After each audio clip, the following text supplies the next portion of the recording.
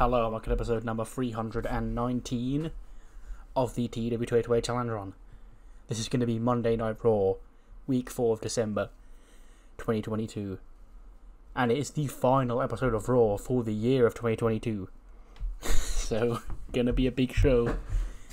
Um, the only matches we have announced are Cody Rhodes versus Carland, Rhea Ripley versus Tatum Paxley, and John Morrison defending his Intercontinental Championship against that one guy that Bivens has been talking about. Um, without any more further ado, though, I say we wrap up this year, hey? so let's jump straight into the show.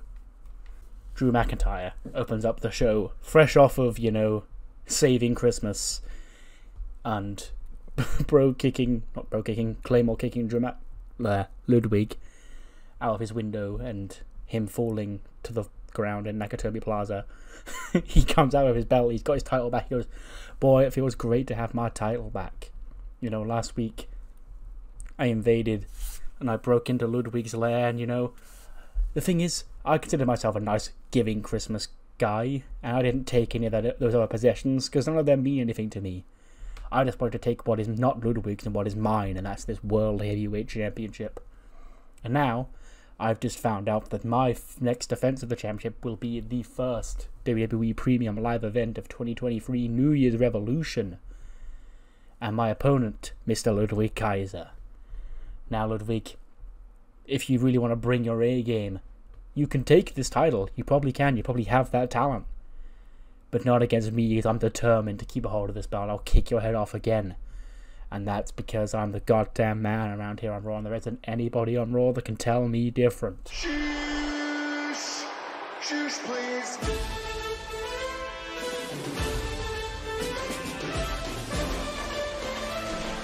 Out comes Chad Gable. and he goes, Shoosh! Shoosh, please, shoosh. Now, Mr. McIntyre, you are a great world champion, no doubt about it. But here's the thing. You. What you did to Ludwig last week was uncalled for, you know? Barging into his home, taking your title back. You know, Ludwig shows up to work, he would have brought your championship with him. You know? But you went about in such a reckless way that I've lost all respect I had for you, and that was not a lot to begin with. And Drew goes, Well, it's funny you say that, Gable, considering, you know, last week you were so big and bold by your five minute open challenge, but Sheamus came out and he whooped your ass, and not only did he beat, not only did he survive the five minutes, he looked like he was about to beat you until, you know, you were saved by the bell. And Gable goes, Sheesh! How dare you insinuate such a thing?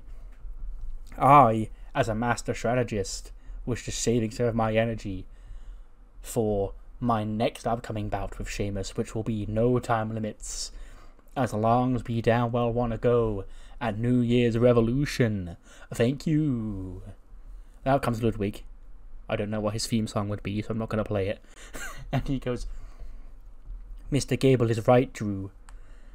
I am simply in the business of collecting and that championship is my prized possession. See, I was just borrowing it. I would have given it back to you because, you know, I have an honor in this business. And stealing a championship and parading around as a fake champion, that, that doesn't fit my my honor of this this business. I was merely just taking the championship to trial, give it a trial run, see how it would look in my collection before I own it officially after New Year's Revolution. But you like the reckless, you know, just caveman that you are, having to come in and barge in and take it back. You could have just asked. But now, you're here. You've got your championship back, very well and good, but I see Gable here, I see myself here. And I say we end 2022 the same way I mean to start 2023, and that's with a beatdown of Drew McIntyre. And then Drew drops the bell and he's like, bring it on. And then a big two on one fight breaks out when Sheamus runs out to make the save. He does the beats of the Bodhrán on Gable before Ludwig like pulls him away, and him and Drew sort of look at each other and give a respectful nod, I guess, because you know they have teamed up since Clash of the Castle because they did it Survivor Series, but obviously there's still there's still a little bit of lingering, you know, fuck you there, And then obviously it's made main event, the final Raw main event of 2022. Chad Gable and Ludwig Kaiser against Drew McIntyre and Sheamus. Then I imagine we go to the ads, and we come back. Um, Tatum's making her entrance for the match with Rhea, and then we cut to Alexa and Ivy in the back watching her entrance. And Ivy goes, "You know, Alexa," she goes, "What?" She's like, "I know, you know, last week Tatum and me like ignored your orders. You know, why's the reason that she's the one getting punished and not me? I mean, Alex is like, well, Ivy, because I don't blame you for what happened.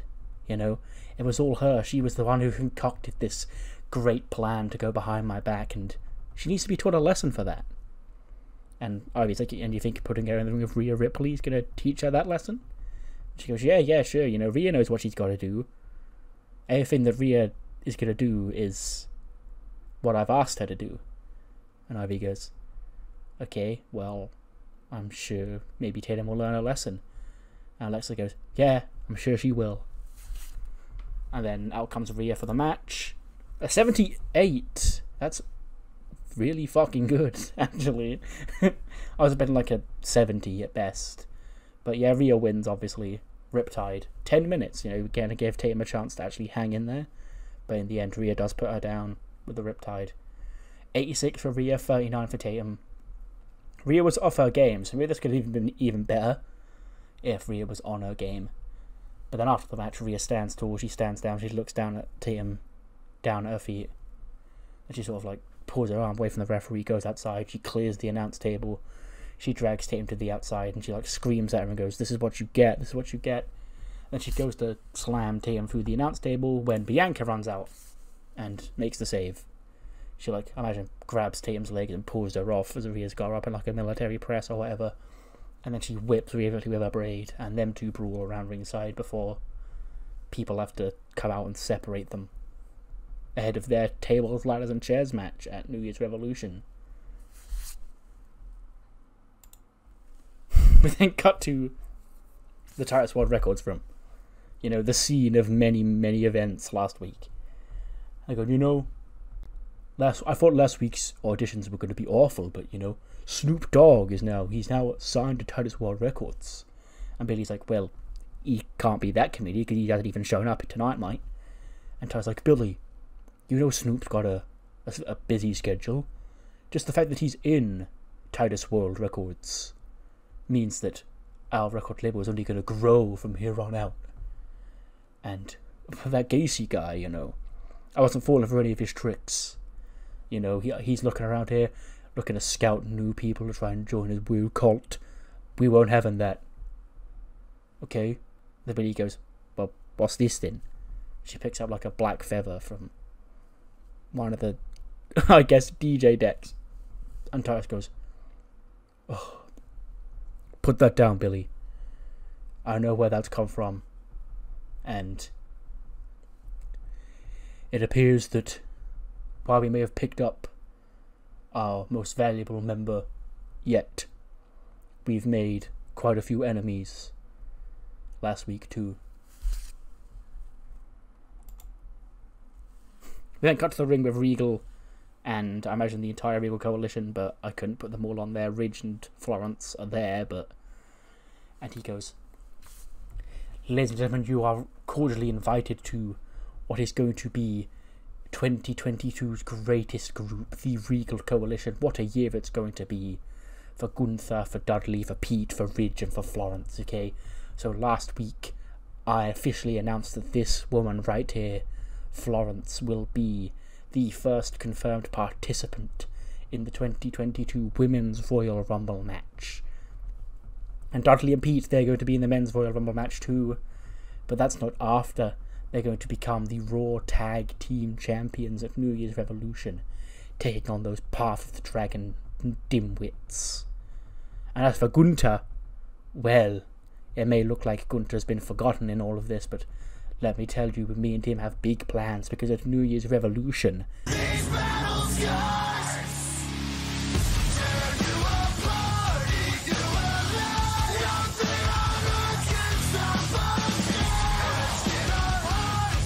get caught by the music of Path of the Dragon. And they're just like shouting. Tozawa's getting in the face of Regal. And Zergus is there, Zaya's in there facing off with Florence. And it ends with Pete Dunne and Tozawa fighting. And then we get a match between Pete Dunne and Akira Tozawa because I think this will do really good. And in 86, I was right, clearly. But Tozawa, I guess, is not doing so hot in singles action. That's why the team is still around. But in 1251, Pete Dunne scores the pinfall victory over um, Tozawa because as good as Humberto and Tozawa are as a team, as a singles, they're still a little bit, you know, still a little bit of work to do. But Tozawa is put down with a bitter end in 1251. 94 for Pete, 76 for Akira. And apparently there was not a lot of psychology, which hurt the match. Okay, game, whatever. But yes, momentum towards Dudley and Pete heading into New Year's Revolution. We then get an interview with Kathy Kelly. And her guests are the new alliance, I guess, of Liv Morgan and Hikaru Shida. And Kathy goes, Well, girls, you know, we saw quite the ch- the shake up in the women's tag team ranks um, last night at the SmackDown branded High Voltage pay per view when J-Flo lost the titles. Actually, no, we didn't because it wasn't on the pay per view, Kathy. It was on the Christmas episode of SmackDown. and they lost the titles to Bayley and Dakota Kai of Damage Control. And what are your thoughts going forward on the face the future of this division? And Liv's like, first of all, let me be the first to, well, second, I guess, and third, to announce that you're looking at myself and Hikaru Shida, not only the future women's tag team champions, but we're going to take those titles into the Royal Goddamn Rumble, because we're both going to be in that women's Royal Rumble match. Now, as for the future of the women's tag team division, you know, me and Shida along the way sort of just came together, and we share the same vision, okay? And it doesn't matter if it's Damage Control, J-Flow, or even the Grand Jury whoever the champions are, we next get our shot, we're going to win them. and then Charlotte walks in laughing again. She goes, Look at you, it's adorable. Like, you win one fluky Raw Women's Championship two years ago and you suddenly think you, you've got what it takes to be a champion? No. Okay? You know what it takes to be a champion? Look at me. Look at Jordan. Look at Aliyah and Skylar, you know, the future women's tag team champions who you conveniently left off because you're clearly scared of them. Liv goes, okay, if I want to look at what a champion's like, boo, I won't look at those two losers because they've never won jack shit here. And Jordan's only won two tag team titles because you were carrying a dumbass. Charlotte goes, yeah, well, maybe hanging around with a champion like me makes champions, okay? And with this in my hand, I can make myself champion whenever I want, unlike you, who've got to scratch and claw like the little girl that you are, to prove that you belong at the top. But you don't. You never will. Either of you. And then Shida steps up and she's like, Well, then we'll fight Aliyah and Skylar tonight. And Charlotte goes, Fine. Then we'll see who the real next tag team champions are. we then cut backstage. John Morrison, he's like putting his gear on, you know, doing some parkour, some yoga and shit, preparing for the IC title match. Like when Ali walks in and he goes, "Sup, man?" He goes, "Yeah." He goes, "Are you sure you really want to do this? Like, this bit, this you don't even know who you're facing. You know, Omos could have been the the guy, but Bivens didn't. He he seems to have other plans for this guy, and you don't know who you're facing. You know, that seems like a pretty dangerous action. You think." And Morrison's like, you know, it's just like, you know, you issuing out an open challenge and me answering and accepting and winning the championship. And he goes, oh, touche, touche. Anyway, it's again, I'll stay back here but cheer you on. Just, you know, just want to make sure you know what you're getting yourself into because you don't, you have no idea who's coming out. It could be, it could be me for all you know. And Morrison goes, I hope it is, and I'll see you out there. So more just respectful discussion between these two. Ali, like, hey, buddy, like, you don't even know who the fuck this guy is you're fighting, so. but Morrison, he's going ahead, defending the IC title against this man. We then come back to the ring when Joe Gacy and the Schism are there, and he goes, Ladies and gentlemen, it is with great honour and great, great pride that I must inform you all that the plan for peace and world domination is a go. Now, over the last few weeks, you've seen myself and my affiliates here in the schism spread our wings, in one case quite literally, to spread the message, and that message is going to be spread because Lyra is really, really getting to the heart of Nova Nebula. I can feel it. I can feel it in my soul. And that's why at New Year's Revolution, Lyra is going to go one on one with Nova Nebula. And when Lyra wins that match, Nova will have no choice but to join our cause. And then, with players like that on our side and our ranks continuing to grow, the great evil and the great world of peace will soon take over not only Raw but the entire WWE. Titus World Records interrupt. Billy Kay goes, "What's this? What's this you're doing there, mate? Leaving this stupid feather on our fucking on our tape deck? You got to be joking me, mate. I'm gonna kick your ass right now. You're not even gonna make it to Nova Nova and New Year's Evolution, are you, mate? Now come on." and then we get Lyra and Billy Kay in action. A seventy, really? Okay, so I think this is the first time I've actually had Billy wrestle since he's been back. Apparently, she's got excellent chemistry with Titus as her manager, and Lyra and Billy Kay have excellent chemistry wrestling each other. So a lot of boosts made this match, you know, pretty actually good for what it is. But yes, it is obviously Lyra. She's the one with the pay per view match, and Billy is in a comedy stable. So obviously, Lyra wins in 7 minutes and 5 with the guillotine. Um, yeah, 67 for Lyra, 63 for Billy Kay, mate. Let's fucking go. Kathy's then back again, and her guests this time are the entire grand jury. And Ziggler, like, he walks out, he puts his arm around her. He's like, What you want, babes? What's up? She goes, Okay, so I just want to you know, yeah, a recap. Let's reassess. Grand jury 2023. What's happening? And he goes, Well, here's the, here's the scoop, babes. I know you want the scoops. I know people love the scoops these days. Old DZ, he's been put down for so goddamn long, and people have been stepping all over him. Did you know that next year marks the 10 years since I won the World Heavyweight Championship? People seem to have forgotten that because people seem to have forgotten me and what I'm capable of. Well, forget no more, Kathy Kelly, because 2023 is not just the year of DZ, it's the year of the grand jury, and that starts at the Royal Rumble when I go all the way, eliminate 29 other men, and go punch my ticket to become WWE Champion at WrestleMania. And as for the girls, you know, there's been a lot of talk recently about damage control and J Flow and even Shida and Liv. But these girls here, they are the true next in line for the women's tag team championship, and there's not a damn thing anyone can do about any of it. Okay, Kathy, that's the show, babes. Keep watching, stay tuned. 2023, it's our year.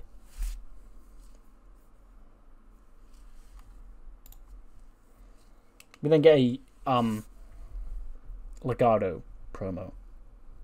Um, it's back at if you remember a couple of like a month of two months ago or whatever, when there was an entire group.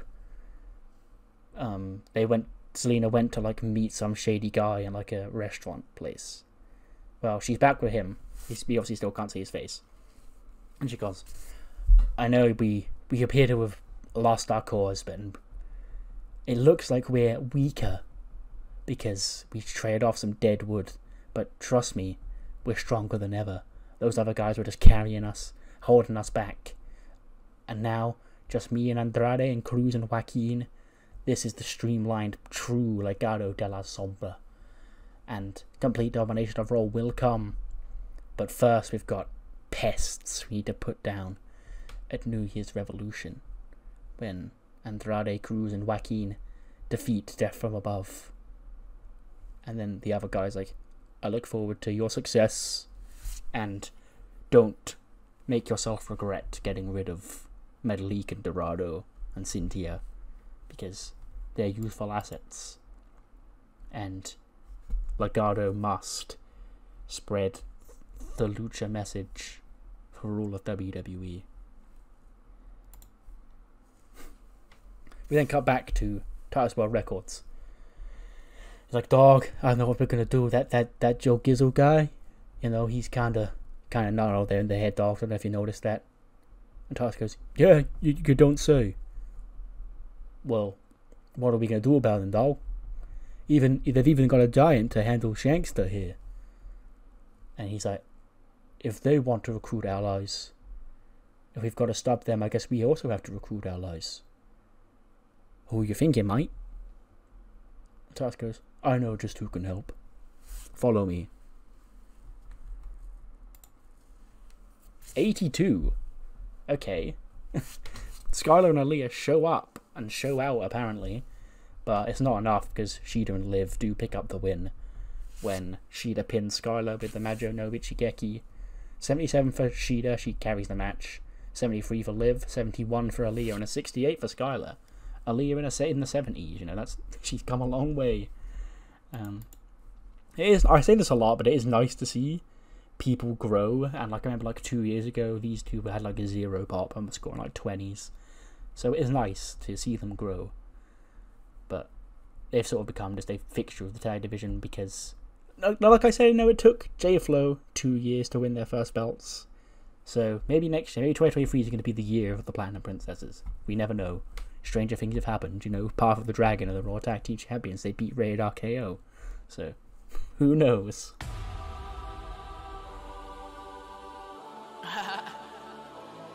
Damage control. Yeah. We got the power, we got the rage, control the stage, control the cage. Out come Bayley and Dakota and Cora. And she goes, Girls, girls, girls, don't not to rain on your parade, you know. You did so good. Good job. I'm proud of you, hon. Liv, you've come so far. Shida, you know, you're you're so new here, but you made a statement elsewhere and 2023 can be a big year for both of you, but I just thought, you know, we'd pop up, you know, show off both my belts, you know, Bayley Dosh strap, you know, that's what they call me, because I've got two, one, two belts, count them, one, two. In case you missed high voltage, okay, yeah, there's there's two championships. I had zero this time last week, but I now have two because I'm the best. Anyway, um, but now with the power of these women's tag team championships and Cora's Liberty Championship, we can float across whatever show we want. And here we are, Damage Control coming to Raw. How about that? And we've heard a lot about the women over here who seem to think that they're next in line. You two, you got them grand jury girls. I don't care who it is. In fact, next week, why don't we kick off the new year in style? You two against Julia and Sonia, and the winning team will beat at New Year's Revolution. So yeah, just to get the, because just to basically say, oh yeah, they can float now because they've got all the belts. And yeah, big tag match up for next week: Shida and Liv against Julia and Sky um with the winning teams going on to New Year's Revolution to face Damage Control for the women's tag titles. Should be a hoot. we then cut to the anime boys, and they're just training and shit. Manny and Dio are still inspecting this big mysterious weapon that that person sent them. And Manny goes, Are you sure it didn't say a name? And Manny went, Positive. Didn't say his name at all, anywhere. Manny goes, Well, do you know what this means, Dio, right? We have a mystery stalker. And he's like, Who? Who do you think it could be? Who, who do you think's really into us? Manny goes, you know, probably Saraya herself. You know, I, I've been feeling a connection between me and her recently. So, and then she sort of walks in and goes, "What are you saying?" Oh, we're just talking about you know this big weapon, and how we don't know who gave it to us. We've clearly got some sort of secret ally. And then in walk Titus World Records. He goes, "We finally found you." And Sensei goes, "How can we help?" And he goes, "You, you're still training to, to fight the schism, correct?" And Sensei's like, yes, of course. We're not going to start till we get Saraya pendant back. Like, yeah, we're training. And then Titus just smiles goes, excellent. Consider Titus world records your allies. Do you need any more help? And Sensei goes, great, we could use more, more fodder. And Titus like, excuse me, we could use more what? And Manny goes, what they meant to say was, we're glad to have you on board. So, the dream team is forming before your very eyes with the anime boys and Titus World Records. I guess this effectively also means Snoop Dogg is in in this, which you know makes me happy because that's gonna make me giggle. But Snoop's not here this week because again I'm not booking Snoop Dogg every week, but it's fine. We then see um, the same woman from last week who asked Santa if he got a letter or whatever. And she's walking through, like, it's not in the building, it's like a, a recorded video. And we, like, it just starts, like, we see her heels walking and then we pan up to see her face. Like that sort of angle. Or, or actually, no, probably just, probably just shows her feet walking to start with. And then when she gets, like, a counter, like a reception, she then pans up and shows her face. And they go, Can we help you? She goes, Yeah, I'm here to, to see, you know, 64. I go, Oh, 64, yes. Nobody's seen him in a, quite a while, okay? Can you state your name? And she goes, You know who I am, look. Come on, let me see him. And then he looks down and goes, Oh, right, that is you, okay. Yeah, right this way, ma'am. She goes, Brilliant. Time to see what's happening in here. Wrestling has more than one royal family. Cody makes his big entrance for his match with goddamn Carland. After last week, Carland, you know, Karrion Kross said he was going to make a man out of Carland. It's time to find out if Carland is a man or not. 68. He's not. Because Cody beats him in 4 minutes 35 for Cross Rhodes. 86 for Cody, 35 for Carland. Yeah. Don't know how else you expected. Adrenaline in my soul. Cody Rhodes with a dub over Carland. we then cut to backstage. Actually, no, no, this isn't cut to backstage. This is Cody wins, and we cut to ads, and then the Karrion Kross are storming angrily through the hallway, and Kathy's like, Karrion, Car- guys, what happened out there? And he goes, Listen here, kid, I'll tell you what happened out there. This goddamn kid, this loser here, let us down. He's embarrassing the cult. Well, no more. Kathy, let me ask you something. You got a New Year's resolution? She's like, I mean, yeah, I mean, just, yeah. She goes, good. I've got one too. And she goes, great. It's nice to have goals, isn't it? And he just sort of growls. He goes, aren't you going to ask me what it is? She's like, okay, Karrion Kross, what's your New Year's resolution for 2023? More carnage. To erase the stink that some people who are pulling their weight have given to this cult. And that starts next week, the very first week of 2023. Cody, me and you one on one. On my turf. In my match. A cold steel cage. Nothing personal, kid. So, for, fuck's sake, um, think Ambrose Asylum, you know, steel cage with weapons on the top. That's a cold steel cage, obviously with a K. Cold steel cage, spelled K O L D S T E L K A G E. Cody and Karrion Kross in that next week. Morrison, he comes out.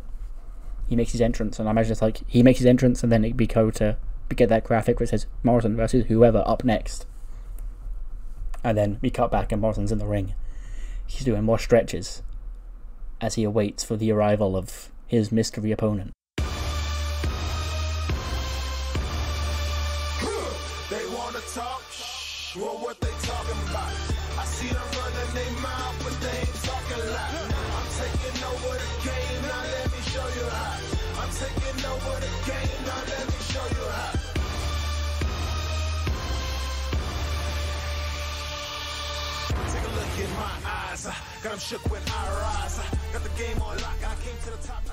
Out comes a very different looking Angelo Dawkins. And he's got a lot on his mind, but the main thing on his mind is gold. He promised all those months ago that he was going to be the Intercontinental Champion. And he's, I guess, used leverage to make sure Bivens gets him this opportunity here tonight. And an 80 rated match, we have a new Intercontinental Champion. His name, Angelo Dawkins. He beat John Morrison with the Spinebuster in 1333. And yeah, what a bizarre sentence. Angelo Dawkins, WWE Intercontinental Champion. He gets a 67, Morrison gets an 84. Um, yeah, more Dawkins is well known, so it's fine. But we're going to use this to make him a mid carder because he's finally done it. Angelo Dawkins and his Titus, Titus O'Neil remixed theme because, you know, that theme is too good to just not use anymore. And it's, it's not being used by Titus because he's still using Making Moves and or a Titus World Records theme song, which will probably end up being on, you know, the mixtape I have to actually release. so yeah, just give it to Angelo. Fits him. Um, I'm not sure if he's going to be a full-time member of the Bivens crew. I think he'll be like an associate of the Bivens crew, but it's not. It's not like oh, just one and done. He paid him, and then he's gonna. They're gonna fuck off. Like they will still be like loosely aligned. They're not like the Revolution and Zeph, for example, because I feel like I've done that too much recently. But he's not. He's not as in with Bivens as like Veer and Omar Sa. But he is a champion. And now, next week, we have a banger show in store for you, including Cold Steel Cage, Cody Rhodes and Karrion Kross, the first Raw of 2023. Kick that match will kick off the show. Cody Rhodes and Karrion Kross, Cold Steel Cage. We then also have, as we heard from Bayley earlier on tonight, Hikaru Shida and Liv Morgan. Against Julia and Sonya Deville of the Grand Jury, the winning team goes on to New Year's Revolution to face Bayley and Dakota Kai for the Women's Tag Team Championships. And also, before the big six man tag team match at New Year's Revolution, we're going to get just a singles tag team match 2v2. Gran Metalik and Lince Dorado of Death from Above taking on Cruz del Toro and Joaquin Wild of Legado de la Sombra. But that's the first Raw of 2023. We do have a stacked first pay per view of 2023, that being New Year's Revolution, that Sunday.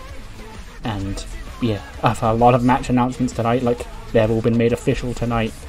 The first being Drew McIntyre defending the World Heavyweight Championship against his chosen, well, not chosen, his challenger, Ludwig Kaiser. We then also have Bandido. No, we don't. We have Pistolero. um, Gran Metalik and Lince Dorado against Andrade, Cruz del Toro, and Joaquin Wild in a six-man tag team match.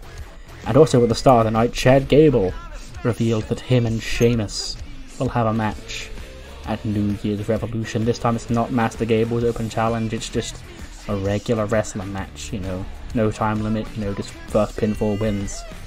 And also, Nova Nebula and Lyra Valkyria go one on one. And if Nova Nebula is defeated by Lyra, she will join the Schism. Big stipulation on the line for that one.